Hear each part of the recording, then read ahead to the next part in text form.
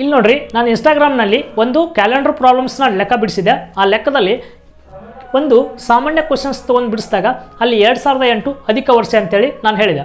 ಅಲ್ಲಿ ಎಲ್ಲ ಸಾಕಷ್ಟು ಜನ, ಸರ್, ಅಧಿಕ ವರ್ಷ ಹೆಂಗೆ ಬರ್ತದೆ? ಈ ಅಧಿಕ ವರ್ಷ ಇದ್ದಾಗ ಒಂದು ದಿನಾನೇ ಯಾಕೆ ಎಕ್ಸ್ಟ್ರಾ ಬರ್ತದೆ? ಈ ಅಧಿಕ ವರ್ಷ ಅಂದ್ರೇನು ಇದನ್ನು ನಾವು ಯಾವ ರೀತಿ ಕಂಡು ಹಿಡ್ಕೋಬೇಕು ಅಂತೇಳಿ ಸಾಕಷ್ಟು ಜನ ಕಮ್ ಏನಪ್ಪ ಅಂದ್ರೆ ಕ್ವಶನ್ಸ್ನ ಕೇಳ್ತಾ ಇದ್ರಿ. ಇದನ್ನು ಶಾರ್ಟ್ ವಿಡಿಯೋ ಮಾಡಿದ್ರೆ ನನಗೇನಾಗಲ್ಲ ಆನ್ಸರ್ನ ಹೇಳೋಕ್ಕೆ ಸಾಧ್ಯ ಆಗಂಗಿಲ್ಲ. ಯಾಕಪ್ಪ ಅಂದರೆ ಸ್ಪೀಡ್ ಅನಿಸ್ಬಿಡ್ಬೋದು. ಅದಕ್ಕೋಸ್ಕರ ಈ ವಿಡಿಯೋನ ಸ್ವಲ್ಪ ಎಂಡ್ ತನಕ ನೋಡ್ಕೊಂಡ್ರಿ. ಎಲ್ಲ ಕ್ವಶನ್ಸ್ಗಳು ನಿಮಗೆ ಕ್ಲಾರಿಟಿ ಮಾಡ್ತೀನಿ. ಏನಪ್ಪ ಅಂದ್ರೆ ಈ ಅಧಿಕ ವರ್ಷ ಅಂದ್ರೇನು ಈ ಅಧಿಕ ವರ್ಷ ಎಷ್ಟು ವರ್ಷಕ್ಕೊಮ್ಮೆ ಬರ್ತದಪ್ಪ ಅಂದರೆ ನಾಲ್ಕು ವರ್ಷಕ್ಕೊಮ್ಮೆ ಬರ್ತದೆ ಅಂತ ನಿಮ್ಗೆ ಸಾಮಾನ್ಯವಾಗಿ ಗೊತ್ತು. ನಾಲ್ಕು ವರ್ಷಕ್ಕೊಮ್ಮೆ ಯಾಕೆ ಬರ್ತದೆ ಅನ್ನೋದು ಸ್ವಲ್ಪ ಗೊತ್ತಿರಲಿ. ಹಾಗಾದರೆ ನಾಲ್ಕು ವರ್ಷಕ್ಕೊಮ್ಮೆ ಯಾಕೆ ಅಧಿಕ ವರ್ಷ ಬರ್ತದಪ್ಪ ಅಂದ್ರೆ ಇದು ಸೂರ್ಯ ರೀ ಹೌದಾ? ಇದು ಸೂರ್ಯ ಅಂತ ತಿಳ್ಕೊಳ್ರಿ. ಸೂರ್ಯನ ಸುತ್ತ ನಮ್ಮದು ಎಷ್ಟನೇ ಗ್ರಹ? ಮೂರನೇ ಗ್ರಹ. ಹೌದಾ? ಸೂರ್ಯನನ್ನು ಸುತ್ತಲೂ ಭೂಮಿ ಎಷ್ಟು ದಿನ ತಗೋತೈತೆ ಅಂತ ಕೇಳಿದಾಗ ಸಾಮಾನ್ಯವಾಗಿ ಎಲ್ಲರೂ ಹೇಳ್ತಾರೆ ಸರ್, ಒಂದು ವರ್ಷ ತಗೋತೈತ್ರಿ ಅಂತೇಳಿ ನಮ್ಮ ಸ್ಕೂಲ್ನಲ್ಲಿ ಹೇಳಿರ್ತಾರೆ ನೀವು ಕಲ್ತಿರ್ತೀರಿ. ಒಂದು ವರ್ಷ ಅಂದರೆ ಎಷ್ಟು ದಿನ? ಮುನ್ನೂರ ಅರವತ್ತೈದು ದಿನ ಅಂತ ಹೇಳ್ತೀವಿ. ಸಾಮಾನ್ಯ ವರ್ಷದಲ್ಲಿ ಮುನ್ನೂರ ಅರವತ್ತೈದು ದಿನ ಇರ್ತಾವ್ರಿ ಮುನ್ನೂರ ಅರವತ್ತೈದು ದಿನ ತಗೋತಾವ್ರಿ ಅಂತ ಹೇಳ್ತಾರೆ. ಹಾಗಾದರೆ ಮುನ್ನೂರ ಅರವತ್ತೈದು ದಿನ ಪ್ಲಸ್ ನಿಮ್ಗೇನು ಗೊತ್ತಿರ್ಬೇಕಪ್ಪ ಅಂದ್ರೆ ಆರು ಗಂಟೆ ತಗೋತೈತ್ರಿ. ಸೂರ್ಯನನ್ನು ಸುತ್ತಲೂ ಈ ನಮ್ಮ ಭೂಮಿ ಮುನ್ನೂರ ಅರವತ್ತೈದು ಪ್ಲಸ್ ಎಷ್ಟು ಗಂಟೆ ತಗೋತದಪ್ಪ ಅಂದ್ರೆ ಆರು ಗಂಟೆ ತಗೋತೈತೆ ಮೇಲೆ ಎಕ್ಸ್ಟ್ರಾ ಹೌದಾ? ಹಾಗಾದರೆ ಇದು ಒಂದು ವರ್ಷಕ್ಕಾಯ್ತು. ಎರಡನೇ ವರ್ಷಕ್ಕೂ ಏನಾಗಿ ಮಾಡ್ತದಪ್ಪ ಅಂದ್ರೆ ಈ ಮುನ್ನೂರ ಅರವತ್ತೈದು ಪ್ಲಸ್ ಈ ಆರು ಗಂಟೆ ತಗೋತದೆ. ನೆಕ್ಸ್ಟ್ ಮೂರನೇ ವರ್ಷಕ್ಕೂ ಮುನ್ನೂರ ಅರವತ್ತೈದು ಪ್ಲಸ್ ಆರು ಗಂಟೆ ತಗೋತದೆ. ನೆಕ್ಸ್ಟ್ ನಾಲ್ಕನೇ ವರ್ಷಕ್ಕೂ ಮುನ್ನೂರ ಅರವತ್ತೈದು ಪ್ಲಸ್ ಈ ಆರು ಗಂಟೆ ತೆಗೆದುಕೊಳ್ತದೆ. ಹೌದಾ? ನಾಲ್ಕು ವರ್ಷಕ್ಕೊಮ್ಮೆ ಅಧಿಕ ವರ್ಷ ಬರ್ತದೆ ಅಂತ ಹೇಳಿದ್ರಲ್ಲ, ಮುನ್ನೂ, ಒಂದನೇ ವರ್ಷಕ್ಕೆ ಮುನ್ನೂರ ಅರವತ್ತೈದು ಎರಡನೇ ವರ್ಷಕ್ಕೆ ಮುನ್ನೂರ ಅರವತ್ತೈದು ಮೂರನೇ ವರ್ಷಕ್ಕೆ ಮುನ್ನೂರ ಅರವತ್ತೈದು ನಾಲ್ಕನೇ ವರ್ಷಕ್ಕೆ ಮುನ್ನೂರ ಅರವತ್ತೈದು ಇಲ್ಲಿ ಅಬ್ಸರ್ವ್ ಮಾಡಬೇಕು, ಆರು ಗಂಟೆ ಆರು ಗಂಟೆ ಹನ್ನೆರಡು ಹನ್ನೆರಡು ಒಂದು ಆರು, ಹದಿನೆಂಟು ಹದಿನೆಂಟು ಒಂದು ಆರು, ಇಪ್ಪತ್ನಾಲ್ಕು ರೀ. ಹೌದಾ? ಇಪ್ಪತ್ನಾಲ್ಕು ಗಂಟೆ ಅಂದ್ರೆ ಒಂದು ದಿನ, ಹೌದಾ? ಇಪ್ಪ, ಒಂದು ದಿನಕ್ಕೆ ಇಪ್ಪತ್ನಾಲ್ಕು ಗಂಟೆ ಇರ್ತಾವೆ. ಈ ಇಪ್ಪತ್ನಾಲ್ಕು ದಿನ, ಇಪ್ಪತ್ನಾಲ್ಕು ಗಂಟೆ ಅಂದರೆ ಒಂದು ದಿನ ಆಯಿತು. ಹೀಗಾಗಿ ಈ ಒಂದು ದಿನ ಏನಾಯ್ತಪ್ಪ ಅಂದ್ರೆ ಎಕ್ಸ್ಟ್ರಾ ಬತ್ತು, ಅದು ಎಷ್ಟು ವರ್ಷಕ್ಕೊಮ್ಮಪ್ಪ ಅಂದರೆ ನಾಲ್ಕು ವರ್ಷಕ್ಕೊಮ್ಮೆ ಈ ಒಂದು ದಿನ ಎಕ್ಸ್ಟ್ರಾ ಬತ್ತು, ಈ ಒಂದು ದಿನನೇ ನಾವು ಏನು ಮಾಡಿದ್ದೇವಪ್ಪ ಅಂದ್ರೆ ಫೆಬ್ರವರಿ ಇಪ್ಪತ್ತೊಂಬತ್ತು ಅಂತ ಕರ್ಕೋತೀವಿ.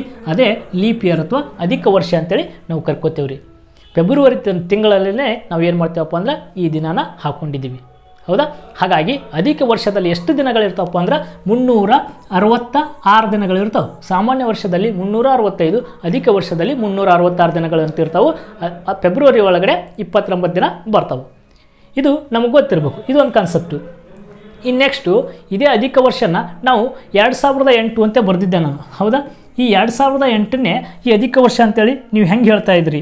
ಸರ್, ಹೆಂಗೆ ಹೇಳ್ತೀರಿ ನೀವು ಎರಡು ಸಾವಿರದ ಎಂಟನೇ ಅಧಿಕ ವರ್ಷ ಯಾಕು ಅಂತ ಕ್ವಶನ್ನ ಕೇಳ್ತಾ ಇದ್ರಿ. ಈ ಅಧಿಕ ವರ್ಷ ಅಂದ್ರೆ ಯಾವ ರೀತಿ ಕಂಡು ಹಿಡ್ಕೋಬೇಕಪ್ಪ ಅಂದ್ರೆ ಕೊನೆಯ ಅಂಕಿಗಳು ಏನಾಗಿರ್ಬೇಕಪ್ಪ ಅಂದ್ರೆ ಈ ಅಂಕಿ ಸಂಪೂರ್ಣವಾಗಿ ಏನಾಗಬೇಕಪ್ಪ ಅಂದ್ರೆ ನಾಲ್ಕರಿಂದ ಭಾಗ ಆಗ್ಬೇಕ್ರಿ. ನಾಲ್ಕರಿಂದ ಬ ನಾಲ್ಕರಿಂದ ಭಾಗ ಆಗ್ತಿತ್ತಪ್ಪ ಅಂದ್ರೆ ಈ ಸಂ, ಇದು ಏನಾಗಿರ್ತದಪ್ಪ ಅಂದ್ರೆ ಅಧಿಕ ವರ್ಷ ಆಗಿರ್ತೈತಿ. ಇಲ್ಲಿಕಪ್ಪ ಅಂದ್ರೆ ಸಾಮಾನ್ಯ ವರ್ಷ ಆಗಿರ್ತೈತಿ. ಇಷ್ಟದು ನೋಡ್ರಿ, ಈ ಎರಡು ಸಾವಿರದ ಏಳನ್ನ ನಾಲ್ಕರಿಂದ ಭಾಗ ಮಾಡಿರಿ, ಭಾಗ ಆಗಂಗಿಲ್ಲ. ಅದೇ ಈ ಎರಡು ಸಾವಿರದ ಎಂಟು ನಾಲ್ಕರಿಂದ ಬಾಕಾರ್ ಮಾಡಿರಿ. ನೋಡಿರಿ, ನಾಲ್ಕರಿಂದ ಬಾಕಾರ್ ಮಾಡ್ತೀನಿ. ನಾಲ್ಕು ಒಂದೇ ನಾಲ್ಕು, ನಾಲ್ಕೈದಲೇ ಇಪ್ಪತ್ತು. ಇಲ್ಲಿ ಏನಿಲ್ಲೇ ಜೀರೋ ಇದೆ. ಜೀರೋ ಇಡ್ರಿ ನಾಲ್ಕು ಎರಡಲೇ ಎಂಟು ನಾಲ್ಕುನೂರ ಐದುನೂರ ಎರಡಲ್ಲೇ ಇದು ಏನಾಯ್ತಪ್ಪ ಅಂದ್ರೆ, ಈ ಎರಡು ಸಾವಿರದ ಎಂಟು ನಾಲ್ಕರಿಂದ ಸಂಪೂರ್ಣವಾಗಿ ಭಾಗ ಆಯಿತು. ಹೀಗಾಗಿ ಇದು ಅಧಿಕ ವರ್ಷ ಆಗಿರ್ತದೆ. ನಾಲ್ಕರಿಂದನೇ ಯಾಕೆ ಮಾಡ್ಬೇಕಪ್ಪ ಅಂತೇಳಿ ಒಬ್ಬೊಬ್ರು ಕೇಳ್ತಿರ್ತೀರಿ ಒಮ್ಮೊಮ್ಮೆ. ಅಧಿಕ ವರ್ಷ ನಾಲ್ಕು ವರ್ಷಕ್ಕೊಮ್ಮೆ ಬರ್ತದೆ. ಅದಕ್ಕೋಸ್ಕರ ನಾಲ್ಕರಿಂದ ನಾವು ಮಾಡ್ತಾ ಇದ್ದೀವಿ.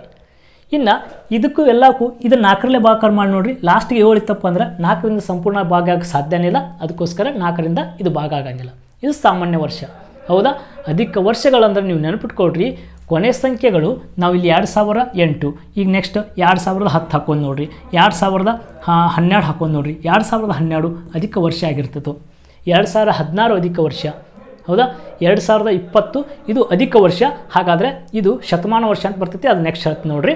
ಇನ್ನು, ಈಗ ನಾ, ಈ ಸ ಪ್ರೆಸೆಂಟ್ ನಾವು ಎಷ್ಟನೇ ವರ್ಷದಲ್ಲಿದ್ದೀವಿ? ಎರಡು ಸಾವಿರದ ಇಪ್ಪತ್ತೆರಡು. ಇದು ಎರಡು ಸಾವಿರದ ಇಪ್ಪತ್ತೆರಡು ಅಧಿಕ ವರ್ಷ ರೀ ಅಲ್ಲ, ಇದು ಸಾಮಾನ್ಯ ವರ್ಷ. ಯಾಕಪ್ಪ ಅಂದ್ರೆ, ಈ ಎರಡು ಸಾವಿರದ ಇಪ್ಪತ್ತೆರಡು, ನೋಡಿರಿ, ಎರಡು ಸಾವಿರದ ಇಪ್ಪತ್ತೆರಡು, ಇದು ನಾಲ್ಕರಿಂದ ಸಂಪೂರ್ಣವಾಗಿ ಭಾಕಾರ ಆಗೋದಿಲ್ಲ. ನಾಲ್ಕರಿಂದ ಭಾಗಕಾರ ಆಗಲ್ಲ ಹೀಗಾಗಿ ಇದು ಅಧಿಕ ವರ್ಷ ಅಲ್ಲ. ಇನ್ನು ನೆಕ್ಸ್ಟ್ ಎರಡು ಸಾವಿರದ ಇಪ್ಪತ್ತ್ಮೂರು ಎರಡು ಸಾವಿರದ ಇಪ್ಪತ್ನಾಲ್ಕು ಬರ್ತದೆ ನೋಡಿರಿ, ಅದು ಅಧಿಕ ವರ್ಷ ಆಗಿರ್ತದೆ ಎರಡು ಸಾವಿರದ ಇಪ್ಪತ್ನಾಲ್ಕನ್ನು ನೋಡಿರಿ, ನೀವು ಇದನ್ನು ಒಟ್ಟು ಭಾಗಕಾರ ಮಾಡಿ ನೋಡೋದಿಲ್ಲ. ನಾಲ್ಕರ ಬಾಧ್ಯತೆ ನಿಯಮ ಗೊತ್ತಿರಬೇಕು. ಕೊನೆ ಎರಡು ಸಂಖ್ಯೆಗಳು ನೋಡ್ಕೋಬೇಕು ನೀವು. ನಾಲ್ಕರ ಬಾಧ್ಯತೆ ಏನು ಹೇಳ್ತದಪ್ಪ ಅಂದ್ರೆ, ಕೊನೆ ಎರಡು ಸಂಖ್ಯೆಗಳು ನೋಡ್ಕೋಬೇಕು. ಇದು ಇಪ್ಪತ್ನಾಲ್ಕು, ನಾಲ್ಕರಿಂದ ಭಾಗಕಾರ ಹಾಕಿದ್ವಪ್ಪ ಅಂದ್ರೆ, ಕೊನೆ ಎರಡು ಸಂಖ್ಯೆಗಳು ನಾಲ್ಕರಿಂದ ಭಾಗ ಅಂದ್ರೆ, ಉಳಿದೆಲ್ಲ ಸಂಖ್ಯೆಗಳು ಏನಾಗ್ತಾವಪ್ಪ ಅಂದ್ರೆ, ನಾಲ್ಕರಿಂದ ಸಂಪೂರ್ಣ ಭಾಗಕಾರ ಆಗ್ತಿರ್ತಾವೆ. ಇದು ನಾಲ್ಕರ ಬಾಧ್ಯತೆ ನಿಯಮ. ಹೌದಾ? ಹೀಗೆ ನಾವು ಕೊನೆಯ ಸಂಖ್ಯೆಗಳು ಅಥವಾ ಆ ಸಂಖ್ಯೆ ಸಂಪೂರ್ಣವಾಗಿ ನಾಲ್ಕರಿಂದ ಭಾಗ ಆಗ್ತಿತ್ತಪ್ಪ ಅಂದ್ರೆ ಅದನ್ನು ಅಧಿಕ ವರ್ಷ ಅಂತ ತೆಗೆದುಕೊಳ್ತೀವಿ. ಅದಕ್ಕೋಸ್ಕರ ಅಧಿಕ ವರ್ಷ ಬಂತಪ್ಪ ಅಂದ್ರೆ ಒಂದು ದಿನ ನಾನು ಏನು ಮಾಡ್ತಿದ್ದೆ ಅಲ್ಲಿ ಮುಂದೆ ಕಳಿಸ್ತಿದ್ದೆ. ಹೌದಾ? ಸಾಮಾನ್ಯ ವರ್ಷದಲ್ಲಿ ಏನಿತ್ತಪ್ಪ ಅಂದ್ರೆ ಅಷ್ಟೇ ಎಷ್ಟು ದಿನ ಮುಂದೆ ಹೋಗಿರ್ತೈತೋ ಅಷ್ಟೇ ದಿನ ಹೋಗ್ಬೇಕು. ನಡುವೆ ಏನಾದರೂ ಅಧಿಕ ವರ್ಷ ಬಂತಪ್ಪ ಅಂದ್ರೆ ಒಂದು ದಿನ ನೀವೇನು ಎಕ್ಸ್ಟ್ರಾನ ಮುಂದಕ್ಕೆ ಹೋಗ್ಬೇಕಂತೇಳಿ ನಾನು ಅಲ್ಲಿ ಹೇಳಿದ್ದೀನಿ. ಇವಾಗ ಕ್ಲಿಯರ್ ಆಯ್ತು ಅಂತ ಅಂದ್ಕೊಂಡಿದ್ದೀನಿ ಇನ್ನು ಶತಮಾನ ವರ್ಷಗಳನ್ನು ಒಂದು ಹೇಳಿಬಿಡ್ತೀನಿ ನೋಡಿರಿ ಇದೇ ವಿಡಿಯೋದಲ್ಲಿ. ಈಗ ಎರಡು ಸಾವಿರ. ಇದನ್ನು ಅಧಿಕ ವರ್ಷ ಅಂತ ಕರಿತೀವಿ ನಾವು. ಹಾಗಾದರೆ ಇದು ನಾಲ್ಕರಿಂದನೂ ಇದನ್ನು ಏನು ಮಾಡೋಕಪ್ಪ ಅಂದ್ರೆ ನಾಲ್ಕರಿಂದಲ್ಲ ನಾಲ್ಕುನೂರಿಂದ ಬಾಕಾರ ಮಾಡಬೇಕು. ಶತಮಾನ ವರ್ಷಗಳನ್ನು ನಾವು ನಾಲ್ಕರಿಂದ ಬಾಕಾರ ಮಾಡಬೇಕು. ಹಾಗಂತೇಳಿ ನಾಲ್ಕರಿಂದ ಎಲ್ಲವೂ ಸಂಖ್ಯೆಗಳು ಏನಾಗ್ತಿರ್ತಾವಪ್ಪ ಒಮ್ಮೊಮ್ಮೆ ನಾ ಭಾಗ ಹಾಕ್ತಿರ್ತವೆ. ಆದರೆ ಅವು ಅಧಿಕ ವರ್ಷಗಳಾಗಿರಂಗಿಲ್ಲ. ಇಲ್ಲಿ ನಾಲ್ಕುನೂರಿಂದ ಬಾಕಾರ ಹಾಕ್ಬೇಕು. ಈಗ ನೋಡಿರಿ, ಇವು ಎರಡು ಜೀರೋ, ಇವು ಎರಡು ಜೀರೋ ತೆಗಿತೀನಿ. ನಾಲ್ಕು ಒಂದೇ ನಾಲ್ಕು ನಾಲ್ಕೈಲೇ ಇಪ್ಪತ್ತು. ಇದು ಅಧಿಕ ವರ್ಷ ಆಯಿತು. ಹೀಗಾಗಿ ನಾಲ್ಕುನೂರಿಂದ ಸಂಪೂರ್ಣ ಭಾಗ ಆಯಿತು. ಇದು ಅಧಿಕ ವರ್ಷ. ಇನ್ನು ಅದೇ ರೀತಿ ಈಗ ಒಂದು ಮೂರು ಸಾವಿರದ ಏಳ್ನೂರು ಸುಮ್ಮನೆ ನಿಮ್ಗೆ ಬೇಕಾದಂಥ ಡೇಟ್ ಬರ್ಕೋಬೇಕು. ಈಗ ಎರಡು ಸಾವಿರದ ಮೂವತ್ತೆರಡು, ಇದು ಅಧಿಕ ವರ್ಷನ, ಈ ಸಾರಿ ಈ ಸುಮ್ಮನೆ ಎರಡು ಸಾವಿರ ಬರ್ದೇನೆ ರೀ ಈಗ ಅಧಿಕ ಸ್ವಾ ಲಾಸ್ಟಿಗೆ ಏನು ಬರಬೇಕು? ಜೀರೋ ಇರಬೇಕು. ಮೂರು ಸಾವಿರದ ಎಂಟುನೂರು. ಹಾಂ? ಇನ್ನು ನಾಲ್ಕು ಸಾವಿರ. ಈ ರೀತಿ ನೀವು ಕ್ವಶನ್ಸ್ಗಳನ್ನು ಬರ್ಕೊಡ್ರಿ. ಇನ್ನು ನೆಕ್ಸ್ಟು ಐದು ಸಾವಿರದ ಒಂದುನೂರು ಮೂರು ಸಾವಿರದ ಏಳ್ನೂರು, ಇವೆಲ್ಲವು ನಾಲ್ಕುನೂರಿಂದ ಭಾಗಕಾರ ಆಗ್ತಾವಲ್ಲಿ ನೋಡ್ಕೋಬೇಕು. ನಾಲ್ಕುನೂರಿಂದ ಭಾಗಕಾರ ಹಾಕಿದ್ವಪ್ಪ ಅಂದ್ರೆ ಅವು ಅಧಿಕ ವರ್ಷ ಆಗಿರ್ತಾವೆ ರೀ ಇದು ಶತಮಾನದ ವರ್ಷ ಅಂತ ಕರ್ಕೋತೀವಿ ನಮ್ಗೆ ಎಕ್ಸಾಮ್ನಲ್ಲಿ ಈ ಥರ ಏನು ಕೇಳಿರಂಗಿಲ್ಲ. ಒಮ್ಮೆ ಶತಮಾನದ ಮೇಲೆ ಸಾಕಷ್ಟಾಗಿ ನಾಲ್ಕರಿಂದ ಅಧಿಕ ವರ್ಷದ ಮೇಲೇ ಕ್ವಶನ್ಸ್ಗಳನ್ನ ಕೇಳ್ತಿರ್ತಾನೆ. ಅವ್ರನ್ನ ಕ್ಲಿಯರಾಗಿ ಹೇಳಿದ್ದೀನಿ. ಬೇಕಾದ್ರೆ ನೋಡ್ಕೊಳ್ರಿ. ಇಲ್ಲಪ್ಪ ಅಂದ್ರೆ ನನಗೆ ಇಲ್ಲಿ ಕ್ಯಾಲೆಂಡರ್ನ ಸ್ಟೋರಿನಲ್ಲಿ ನಾನು ಲಿಂಕ್ ಹಾಕಿರ್ತೀನಿ. ಅಲ್ಲಿ ಎಷ್ಟು ಜನ ನೋಡ್ತಿರೋ ಇಲ್ಲ ನನಗೆ ಗೊತ್ತಿಲ್ಲ. ಆ ಲಿಂಕ್ ಮೇಲೆ ಕ್ಲಿಕ್ ಮಾಡಿದ್ರೆ ಸೀದಾ ನಾನು ಯೂಟ್ಯೂಬ್ ಚಾನಲ್ಗೆ ಹೋಗ್ತದೆ. ಅಲ್ಲಿ ಹೋಗಿ ನಿಮ್ಗೆ ಕ್ಲಿಯರಾಗಿ ಚಾಪ್ಟರ್ ಹೇಳಿದ್ದೀನಿ. ನಿಮ್ಗೆ one part one part two part three ಅಂತೇಳಿ ಸಾಕಷ್ಟು ಕ್ವಶನ್ಸ್ಗಳನ್ನ ಬಿಡಿಸಿದ್ರಿ ಅಲ್ಲಿ ಹೋಗಿ ನೋಡ್ಕೊಡ್ರಿ ನಿಮ್ಗೆ ಏನಾಗ್ತದಪ್ಪ ಅಂದ್ರೆ ಈ ಡೌಟ್ಗಳು ಕ್ಲಿಯರ್ ಆಗ್ತವೆ. ಇದೇ ರೀತಿ ಯಾವುದೇ ಸಬ್ ನೋಡಿದ ತಕ್ಷಣ ನಾನು ಏನು ಮಾಡ್ತೀನಪ್ಪ ಅಂದ್ರೆ ಕ್ವಶನ್ಸ್ಗಳನ್ನ ಡಿಸ್ಕಸ್ ಮಾಡಿಕೊಡ್ತಿರ್ತೀನಿ. ಇದೇ ರೀತಿ ಪೇಜ್ನ ಫಾಲೋ ಮಾಡಿರಿ ಸಪೋರ್ಟ್ ಮಾಡಿರಿ. Thank you